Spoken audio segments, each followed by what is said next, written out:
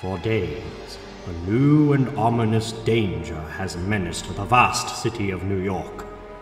No man knows where he'll strike next. No one can cope with this new awesome threat.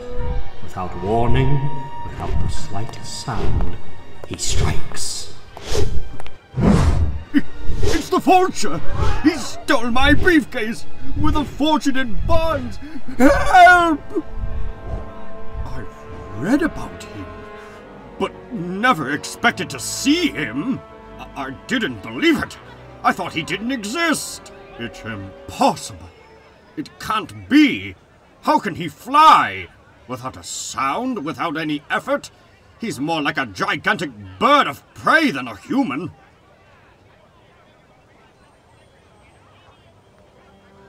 And in the executive suite of the powerful Jameson Publications, Mr. J. Jonah Jameson is on his usual rampage. I want to devote the next entire issue of Now magazine to the Vulture. He's big news. Everyone wants to read about him. But keep printing stories about Spider-Man also. I'll never rest till that dangerous menace is destroyed. Is this the only photo we have of the Vulture? What's the matter with you men? What am I paying you for? The public wants to see him. But Mr. Jameson, nobody can get pictures of him. He's gone before any photographer can get to him. We only have an artist's drawing. No more excuses. Get me pictures of the Vulture, or I'll get some new editors.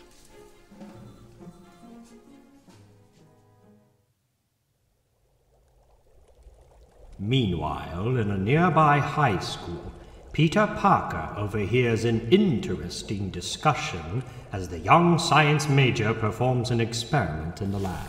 Boy, I'd like to see a close up photo of the vulture. A photo of the vulture would be worth a fortune. Nobody can get close enough to him to snap one. Say, that's an idea.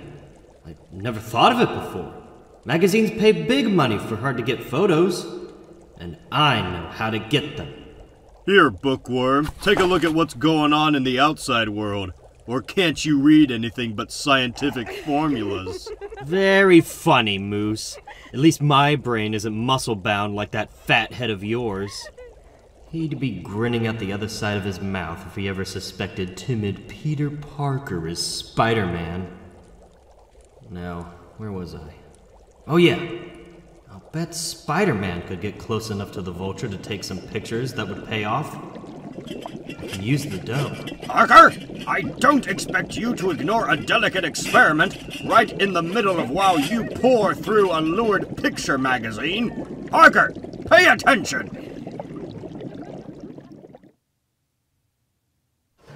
Here, Peter dear, this miniature camera was your Uncle Ben's. I'm sure he'd have wanted you to have it. Thanks, Aunt May.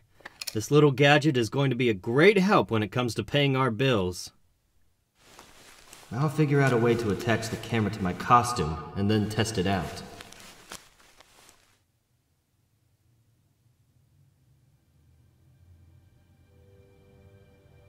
Meanwhile, in a carefully prepared hideout on the outskirts of the city.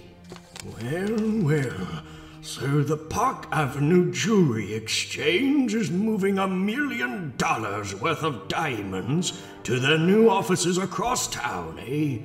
It shouldn't be hard for the vulture to get his hands on those gems. They'll probably be expecting me to try something. But I'll get those gems in a way that no one would ever suspect. Even Spider Man wouldn't have a chance of stopping me. After making certain he is not observed, the vulture darts from his hiding place atop an abandoned silo in Staten Island, just a few seconds from the heart of Manhattan. Now for the first part of my ingenious plan. Seconds later, atop an apartment house where he had been checking his camera, Spider Man's amazing spider senses pick up a strange sensation. Something coming through the air, but making no sound. It can't be a plane. Oh, what luck! It's the vulture! They'll never figure out how I'm going to steal those diamonds. I've got everyone completely baffled. No one has yet discovered how I managed to fly with these artificial wings. I'll toss some messages where they'll do the most good. The first one is for the Jameson Publishing Company building. My next message is for the radio network. Nothing I like better than taunting my enemies. And finally, one for the police chief himself. I'll be gone before they have a chance to read them. The Vulture has never failed to carry out a threat yet, but we must go ahead with the transfer of the diamonds. We can't let the city think that one criminal can make us change our plans. I did it! Now that I've warned them, my triumph shall be even greater after I've seized the gem. If these photos of the vulture come out all right, they should be worth a small fortune. That sound. There's someone on the roof behind me. I've got to move fast as only a vulture can. There. I've got everything adjusted perfectly. Now to. Hey, where'd he go? Well, well, so Spider Man himself is on my trail. Oh, good. It will be amusing to finally face a foe worthy of my mettle. This is almost too easy. Once I drop him into the water below, he'll never bother me again. With Spider Man out of the way, the city will be mine. Now that I have disposed of that temporary interruption, I'll carry out step two of my master plan. Meanwhile, inside the tank, the shock of hitting the cold water instantly revives the powerful Spider Man. The vulture somehow trapped me inside this water tank. Well, I've only myself to blame for being so careless. I'll just shoot my web towards the top and. Oh no! The injector is empty! I forgot to refill it since I used it last. I've been so busy with that camera. Got to try something else. I can't climb to the top. It's too wet and slimy, even for me to get a toehold on. But I sure shooting can't stay afloat in here much longer. Not a pleasant choice. I'll either drown or suffocate in here. Wait a minute. What's wrong with me? Why don't I use my head? I can get out of here. My muscles are stronger than any ordinary humans. There's one little trick that only the Spider Man can perform. All I've got to do is reach to the bottom, squat down, and prepare to hurl myself upward. Like this! Oh, I did it! I may not be able to fly like the vulture, but my spider strength hasn't let me down yet. Ah, My luck's still holding out. Here's my camera. Sure is unbelievable how the vulture manages to fly so swiftly. I'd sure like to figure out how he does it.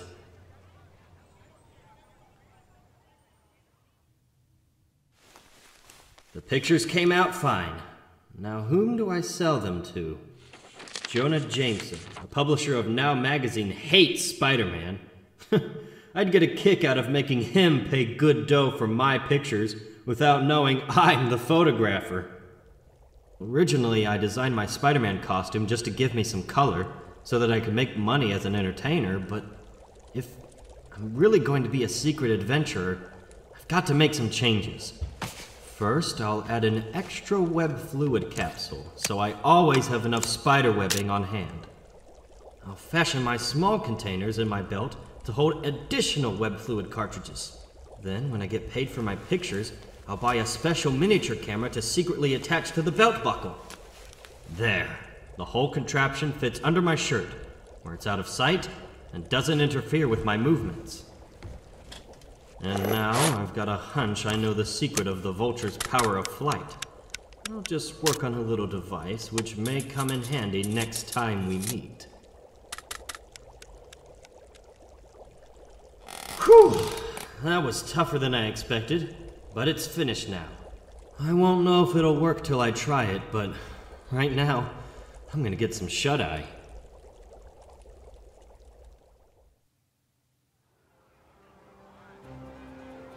What's that?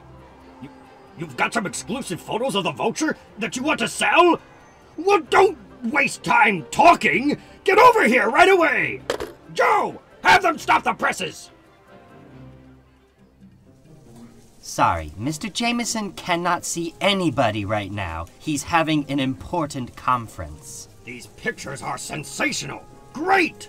But how'd a kid like you get them? Sorry, sir. I'll sell them to you on condition that you never ask me that question. Ah, okay, okay. You can have your little secret. It doesn't matter how you got them. The point is, these pictures will make the next issue of Now a sellout! I'll issue a check to you immediately. And remember, Mr. Jameson, I don't want my name used. You can merely give credit to a Now magazine staff photographer. oh, sure, my boy, sure. And if you get any more great pictures, remember to give me first crack at them. We're always in the market for sensational photos. In fact, if you can ever get a picture of that public menace Spider Man, I'll make you head Brother, wouldn't you be surprised if you knew?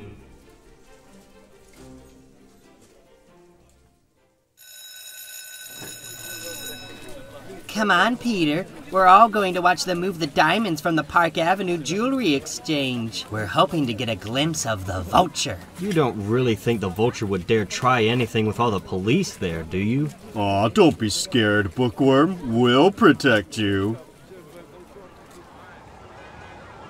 Gosh, the whole area is cordoned off. And look, TV cameras, newspapermen, police. It's like a carnival. The vulture would be nuts to try anything with a crowd like this around. This is one time he won't make good his boast. It is hard to see how the vulture would have a chance at the jewels under these conditions. There are police on every roof and an armed helicopter flying overhead. I'd better make myself scarce. If I have to change to Spider Man, I won't be able to do it in the middle of this mob. Look, gang, little Petey is chickening out. Guess the excitement is too much for his delicate little self. Minutes later, the valuable jewelry shipment starts its crosstown convoy, accompanied by patrol cars and police whirlybird following above. I wish the vulture would make a try for those diamonds, Chuck. We'd nab him for sure. Yeah, but he won't show. He's too smart for that. It's all clear. Start bringing the jewels out. Not a sign of the vulture. He knows he wouldn't have a chance. The sky's clear except for our own chopper up there. Looks like the whole thing was a false alarm.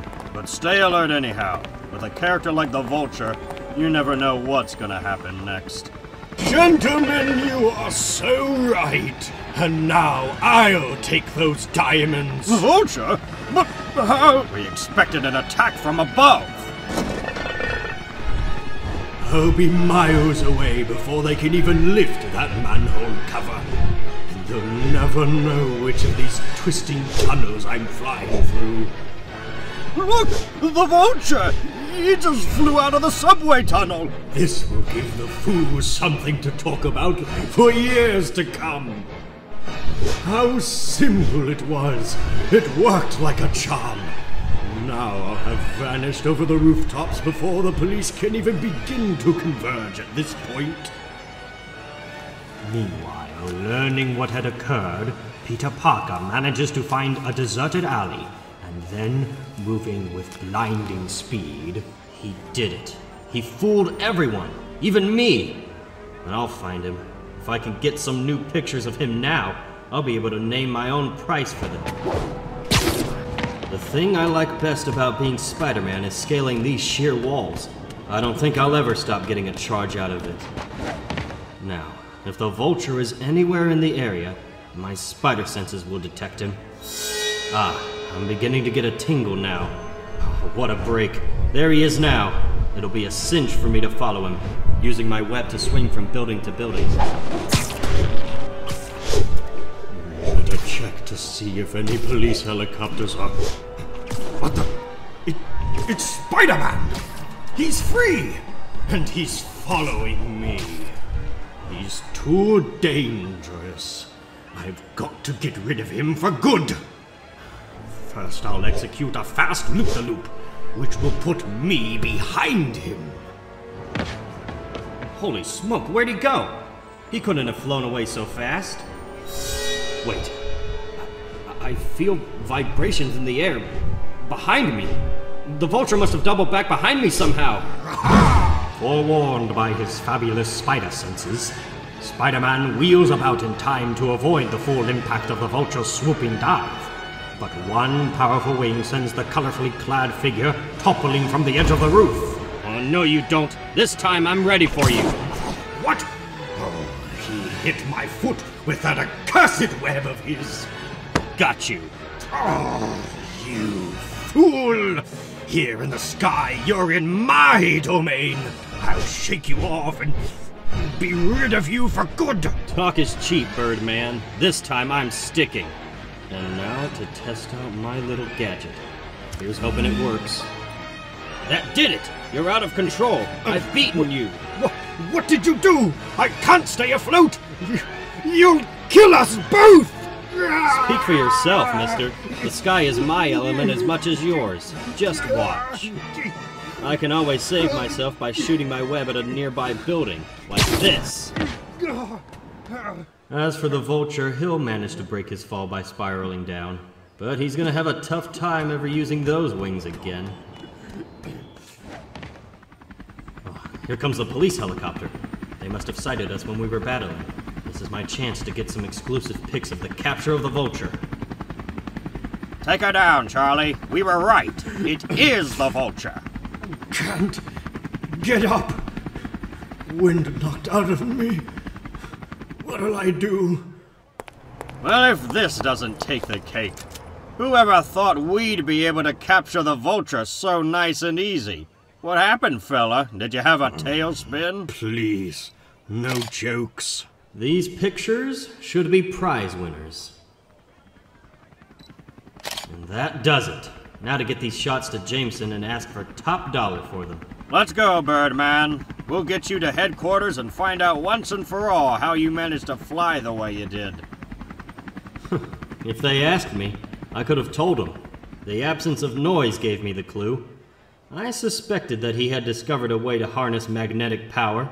That's why my gadget made him fall. It's an anti-magnetic inverter, and it worked.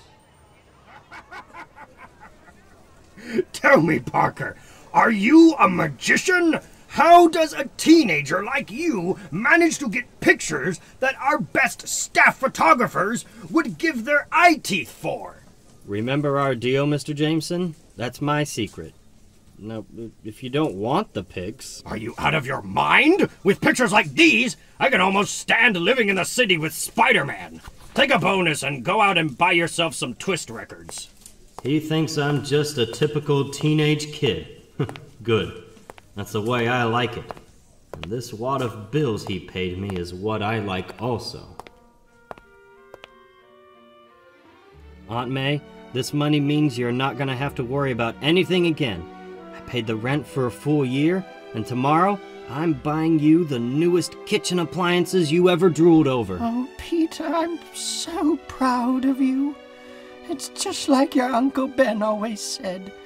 You're the most wonderful boy in the world.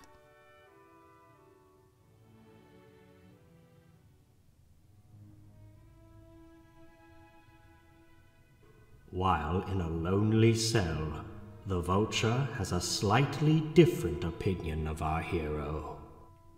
I wouldn't be here if not for that accursed Spider Man. but sooner or later, I'll get free, and I'll develop a flying power that he cannot overcome, and then Spider Man, it will be my turn to gloat.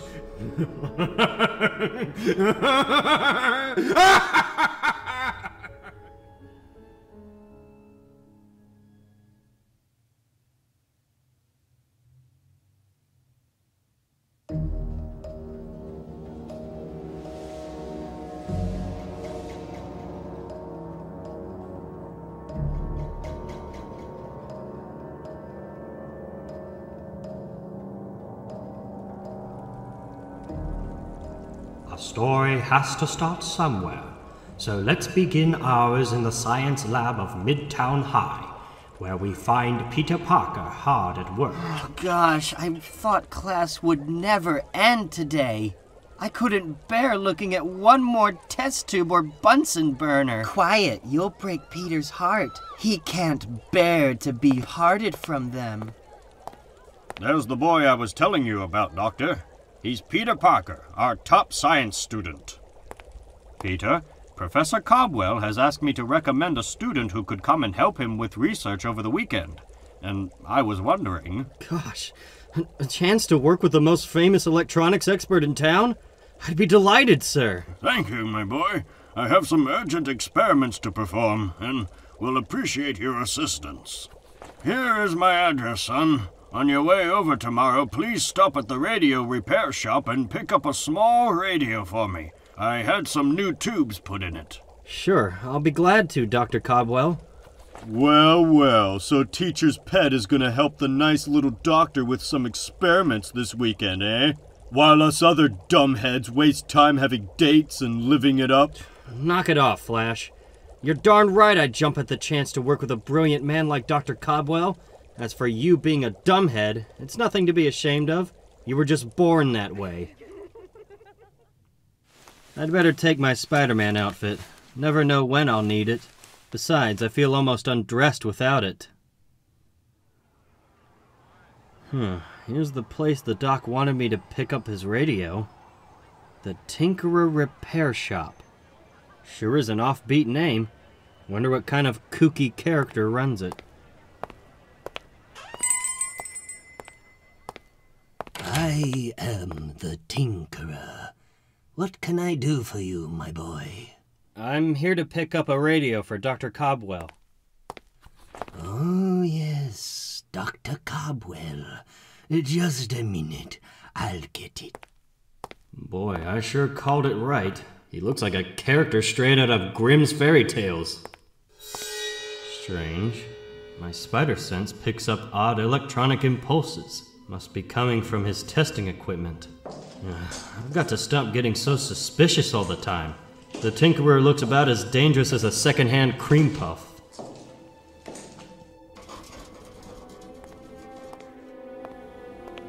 Dr. Cobbwell is ready for his radio. It is one of special jobs. Good. I have just finished it. He may have it now. I have inserted our special device. He will never suspect that this is now much more than a simple radio. So far, none of our special customers suspect what we have done to their radios while we were supposed to be repairing them. Naturally, our plan must be completely secret until we are ready to strike.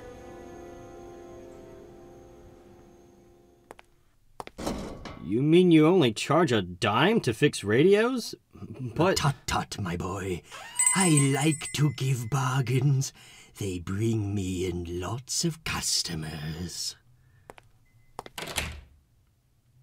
Yes, I heard the Tinkerer's prices were ridiculously cheap. That's why I took my radio to him. Well, enough of that. Here's the experiment I want you to work on for me. I still don't get it. The Tinkerer must be losing money on every customer. And he didn't look like a nut to me. So what's his angle? Nobody gives anything for nothing. Oh, this is batty. I've got to forget the Tinkerer and concentrate on what I'm doing. But something about him keeps sticking in my craw. Wait, I know. Those electrical impulses which I sensed in his shop. Now I sense them here. The part of me which is Spider Man is reacting suspiciously to them. I've got to check this out. But where can the impulses be coming from? The radio is shut off, and Dr. Cobbwell doesn't have any other electronical gadgets operating now. He's putting on his coat. This is my chance. As soon as he leaves. I have to lecture at the Institute now, Peter. I'll be back in a few hours. He's gone. Now to see what this is all about. Hey, no ordinary radio had gadgets like that inside of it. There's where the impulses are coming from, even with the set off. That does it. I'm through kidding around.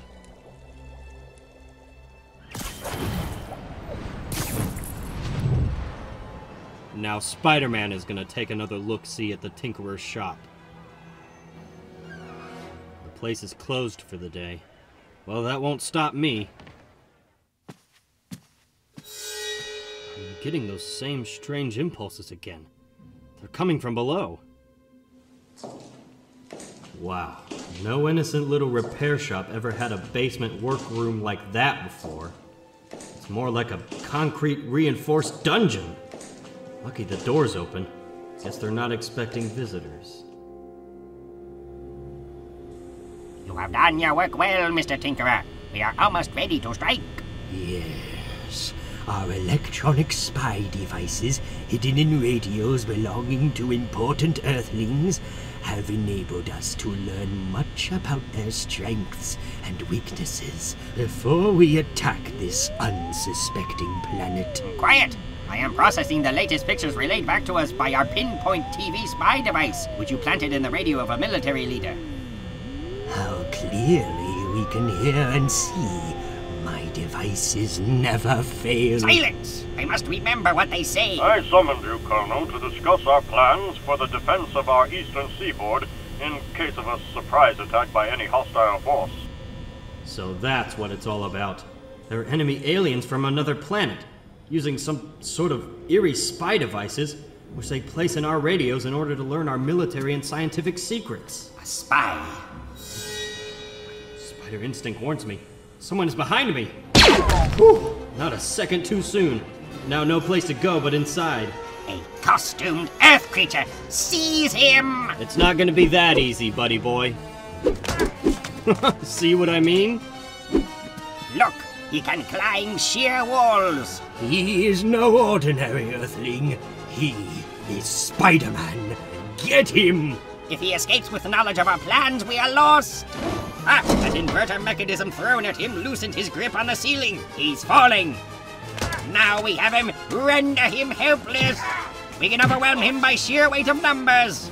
I've got news for you. It's been tried before. His strength is greater than we expected.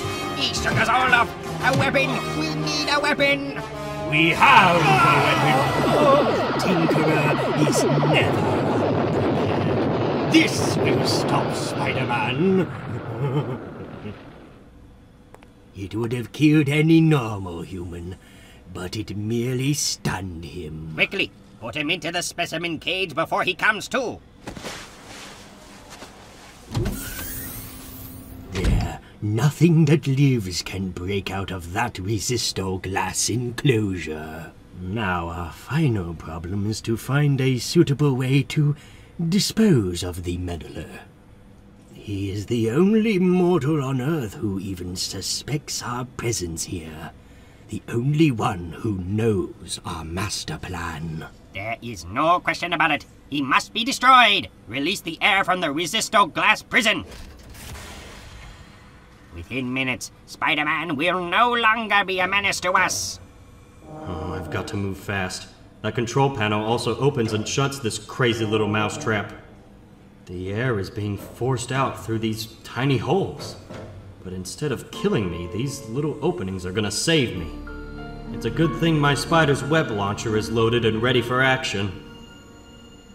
I can't afford to miss. I've got to line it up perfectly with the hole and the proper control panel button. I've got the safety catch off, the nozzle on target, and steady. Bullseye! It worked!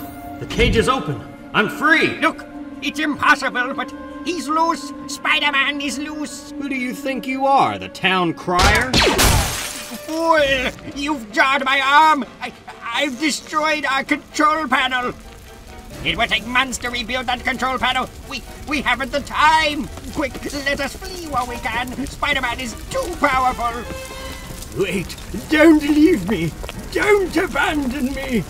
Hold on there, laughing boy. You're not going anywhere. They were just doing their duty to whatever planet they were from. But you, you traitor. The smoke. The burning control panel. They put the whole place on fire. Stop struggling, Tinkerer. I'm trying to save you. No, let me go. Take your hands off me. Nobody touches the Tinkerer. You can't see. The smoke. It's blinding me. Choke, choking me. I've Got to get away. oh, just in time. Couldn't have lasted much longer. but, but the building is a total wreck. It'll be reduced to ashes in minutes. I hear sirens. Fire engines. Someone must have turned in the alarm. I've got to disappear. It's Spider-Man! Maybe he started the fire. But why?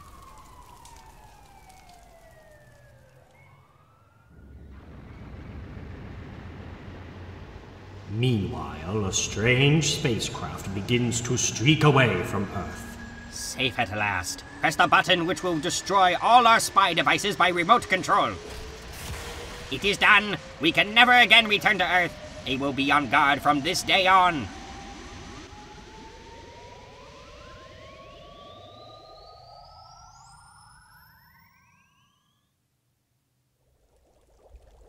I've re examined the radio, and it's perfectly normal now. No devices, no impulses, nothing. Oh, here comes Dr. Cobbwell.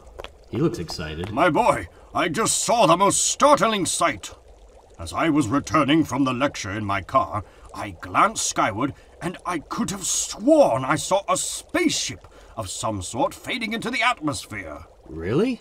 Well, what did it look like, sir? Well, it was sort of. Oh, what am I saying? I must have imagined it. Nobody would believe me anyway. I have no proof. People would think I'm a typical absent minded professor. Hmm. Forget it, Peter. Let's get back to work. Sure, Doc. Yet I was so sure. I know how the doc feels. If not for this mask I yanked off the Tinkerer at the last minute, I might not believe it myself. But I'd better never mention this to anyone. It would be too hard to explain how Peter Parker knows so much about the Spider Man's adventures.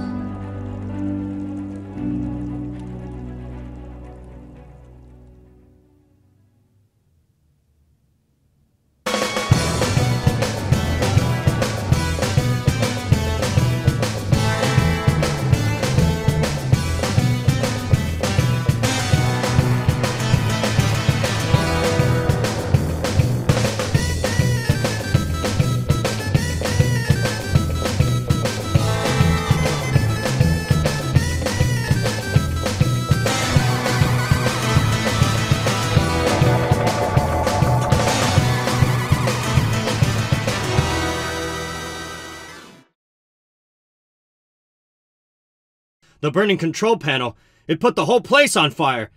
Stop struggling, Tinkler. Tinkler. Tinkler. Oh boy. No, not not the Tinkler.